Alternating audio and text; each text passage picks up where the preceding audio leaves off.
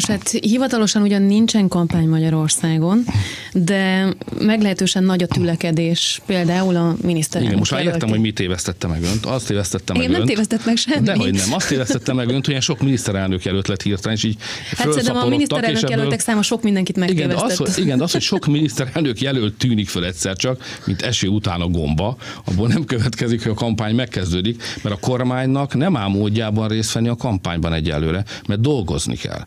Tehát az nem lehetséges, hogy hat hónappal a választások előtt elkezdjünk kampányolni. Hát az országnak vannak komoly ügyei. Meg kell védeni például. A közbiztonságot fönn kell tartani. A családokat támogatni kell. Az adót lehetőleg csökkenteni kell. Esélyt kell adni az embereknek, hogy előre tudjanak lépni.